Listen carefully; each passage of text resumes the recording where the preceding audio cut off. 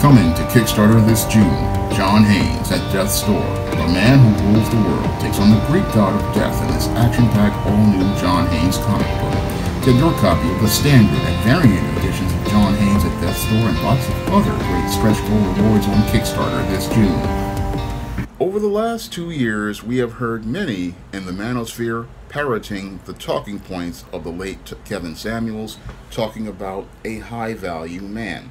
Well, I want to ask the critical question what value does a high value man have to the black community?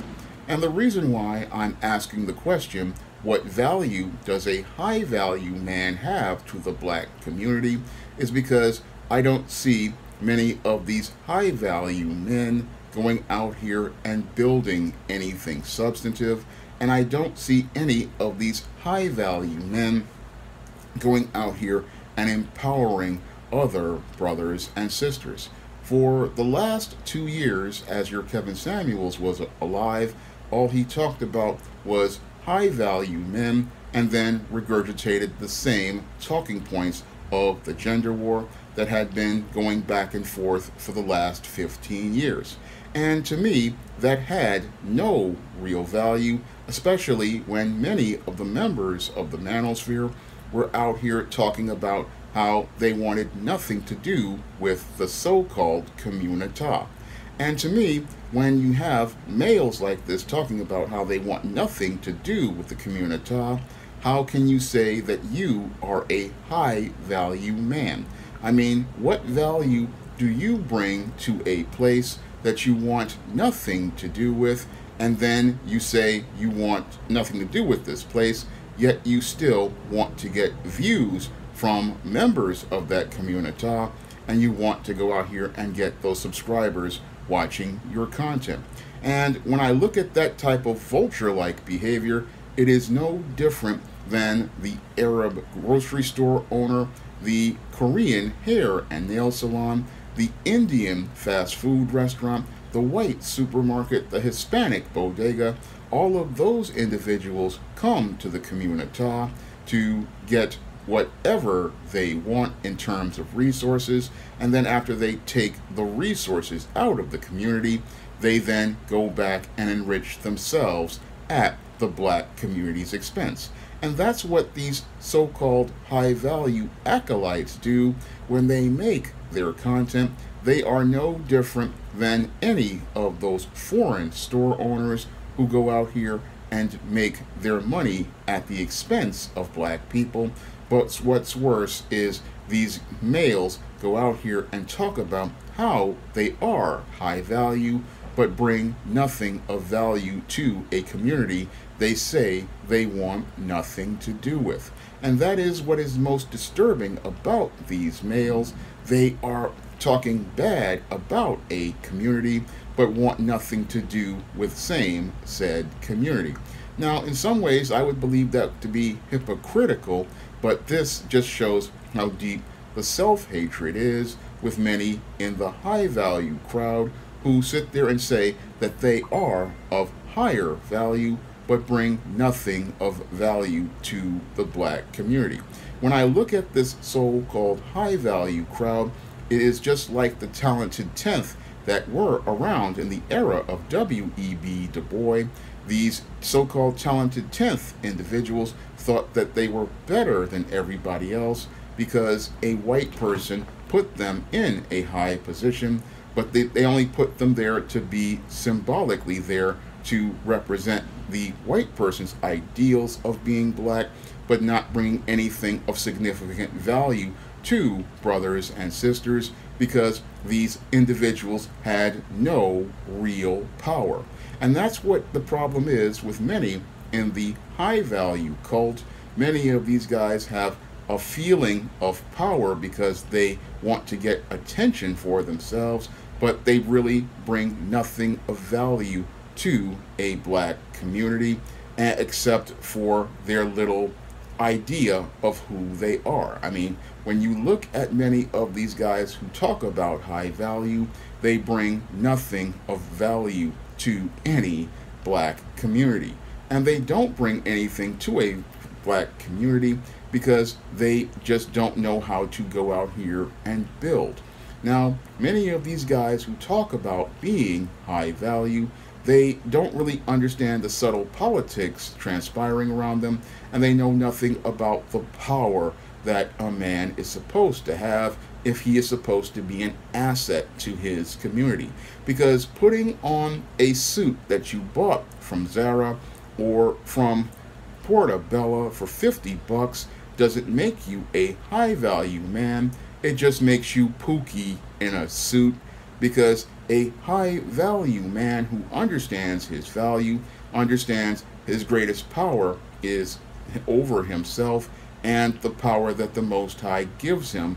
Moreover, he understands that when he has power, his job is to empower others in his community because if he does not put himself and people who look like him first, then he's not even worth anything at all to anyone.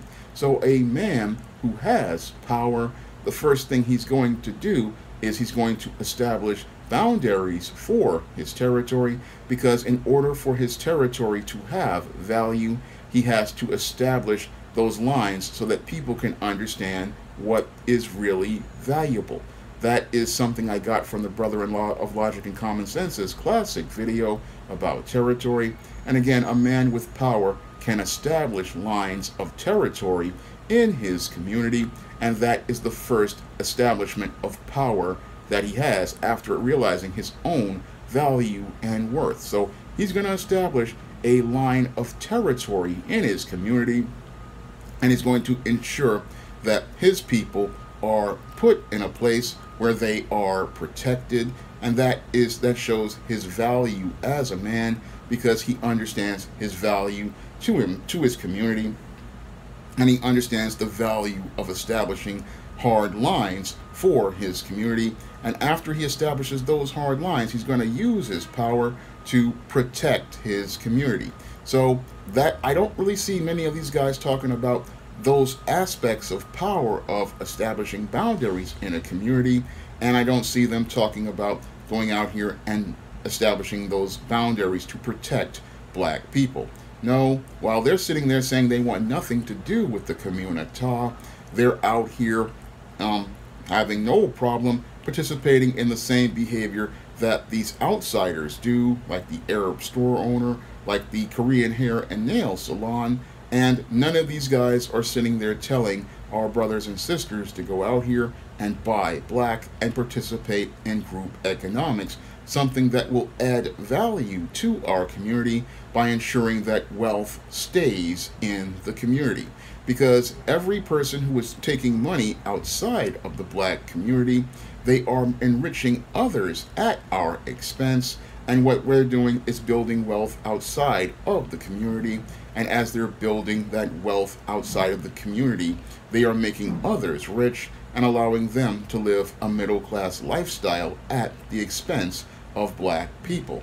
And for too long, we have had too many people come into the black community because we did not establish hard lines as related to boundaries as and establish territory that is the black community and demand that people respect those boundaries. So where are the high value men to go out here and establish hard boundaries in black communities? And where are the high value men who are out here looking to protect the black community? Because I don't see any of the high value guys talking about let's go out here and establish those lines. Let's go out here and establish boundaries. Let's go out here and protect the black community.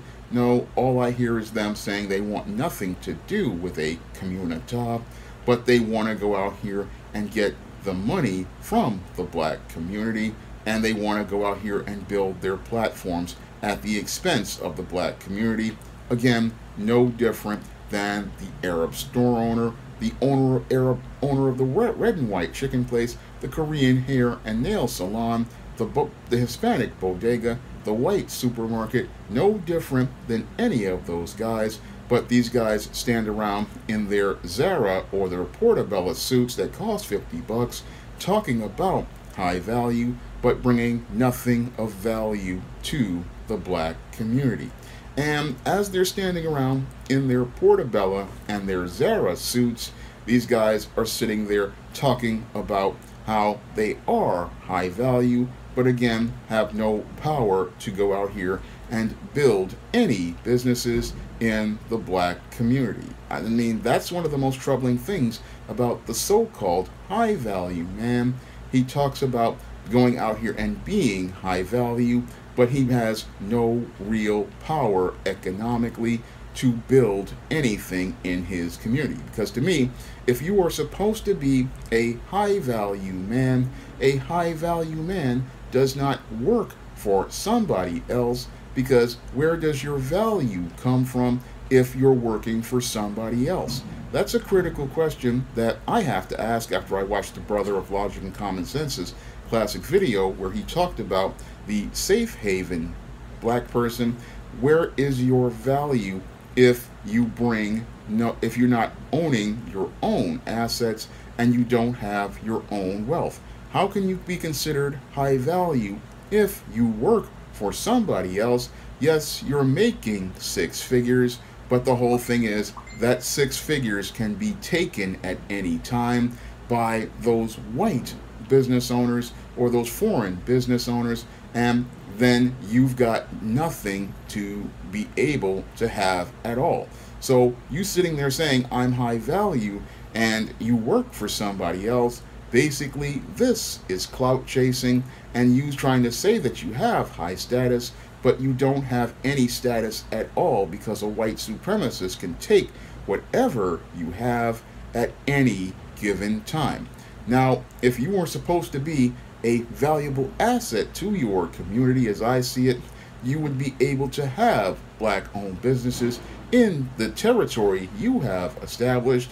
And when you have black owned businesses in that territory, you're going to be able to go out here and hire brothers and sisters and make sure that they get paid from the business that you have. To me, that is a high value man because he is one, establishing boundaries in his community, two, has the resources to protect the, re- the community and enforce those boundaries, and three, he can go out here and build businesses in his community and ensure that his people are hired and working in his community and going out here and ensuring that black people are living a high quality of life to me, that is a high value man because that high value man can go out here and ensure that black people are the ones who are benefiting economically from his resources and benefiting from his investment in the community. That's what high value means to other white and non black communities when a white or a non black community is running they put value on those who go out here and can lay a foundation for that community, establish boundaries for their community, protect their community, and then go out here and ensure that if there are businesses in their community, their people are the ones who are going to be working at those businesses and ensure that the wealth stays in their community. That is the foundation of power, and that is what has value in a non black or a white community. And this is something that the high value crowd really does not understand about having actual value in a community. Because you sit there and talk about high value, you sit there and talk about it from a surface standpoint, and I dare to say a surf a standpoint from the way a house slave saw it, but you don't see it the way an actual person sees power because a person who understands high value understands that they're going to be able to take care of their community and they're also going to be able to take care of their people and ensure that their people can't get fired. I mean, when you talk about high value, a person who has high value, they can not only make sure that their people get the jobs in their community, they can also make sure that when, when their people get on those jobs, those people can't get fired like I did back in 2008 when I was working at the City College of New York. And that's where, that's where I see the difference between actual power and and your so-called high value. A person with power can ensure that a black person would not be forced out of their job and they would ensure that that person would have some sort of protection. And they would also be out here looking out for their people so that their people would not get jacked up. And they would also have the power to deal with black bootlicks. That's what power is. Power does not go out here and submit to others. Power is having the leadership ability to ensure that your people are put first and your people are taken care of first. That is what actual power is, and that's why I say high value has absolutely no value because high value does not bring anything of value to black people. All your high value does is talk about the illusion of power, and all it does is go out here and stimulate people's emotions so that they can get into a back and forth with pookies in suits talking by arguing about gender war talking points and as they're arguing about gender war talking points they are distracted from the actual road of black empowerment. That's why I call it the high value distraction because as many saw many black Americans talking about going out here and empowering themselves by doing things like demanding tangibles from their the government that they are a citizen of and going out here and talking about group economics. They did not want us talking about these things. So what the powers that be went out here is then did was create the gimmick of high value and allowed that gimmick to go on these social media platforms to distract us from the actual road of black empowerment. Because, again, what value does a high value man have if that man cannot even go out here and build in his own community, if he cannot establish lines in his own community, if he cannot create an economic base in his own community, what value does a high value man have? Moreover, what value does a high value man have if he doesn't want anything to do with his community and is out here talking about entertaining those outside of his community? And some of them on this save yourself narrative are talking about pursuing relationships outside of the so called community that they want nothing to do with. So when I look at them, I ask, what value does a high value man have? Because when I look at the whole narrative of high value, I don't see much value that it has to everyday brothers and sisters. And the reason why I say that it doesn't have much value is because it's not about creating a foundation for black empowerment. It is not about creating a foundation where black men and women work together towards building a better black community. No, it's just a place where your guys can go out here and play pretend and clout chase online without building anything of actual substance in the real world. Because to sit here and talk about high value when you bring nothing of value to the table is not eh, building anything substantive for the brothers and sisters because to me what actual high value is again is being able to not only set lines for your community, but ensure that your brothers and sisters wind up employed because playing big shot when somebody else owns all of the property doesn't make it where you're high value at all. I mean, how can you say you're high value when you own no property, when you have no businesses, when you aren't employing other people? That to me is not high value. No, that is just the same type of clout chasing and and pretending and perpetrating I have seen ever since the 1980s when these guys would go out here, they would go out here and buy stuff on credit at like these expensive Jordans or go out here and dress up and try to look fly, but at the end of the day, they really weren't working towards anything that would be substantive at all. And we have to get out of these whole ideas of high value as related to these social um, currency because social currency does not build tangible wealth. No, tangible wealth is built by those who understand their value, understand their worth, and understand that the more black people are in a place, the more power you have overall. Because what I'm seeing with this so called high value group again is the same thing as the talented 10th, a group of so called elite blacks who were put up in their positions of power by whites. And these guys think that they have power, but at the end of the day, they are submitting to the same white supremacist who ensures that, oh, I'll stroke these guys' egos, make them think that they're worth something, and then as they're sitting there thinking that they're worth something, they're looking down at their own people and never thinking once to empower their own people because they want to continue gaining favor from those outside of their community. And that's what the talented 10th was that rendered them useless to black people.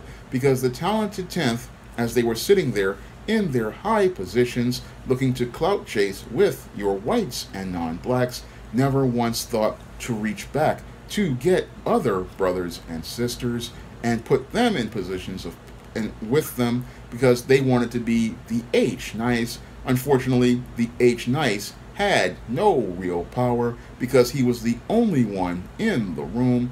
And what was really sad about the HNIC was as the only one in the room, he was basically alone and basically at the mercy of those whites and non-blacks who went out here and they made sure to bring their people in the room and they had 10 15 20 of their people in the room. Meanwhile he's the only black person and he's trying to hold on to his position but he doesn't understand if he had brought in other brothers and sisters he would have more power to go out here and be able to do things because there's more strength in numbers and there's more strength in numbers when you start owning assets and that's something many of the talented 10th never did.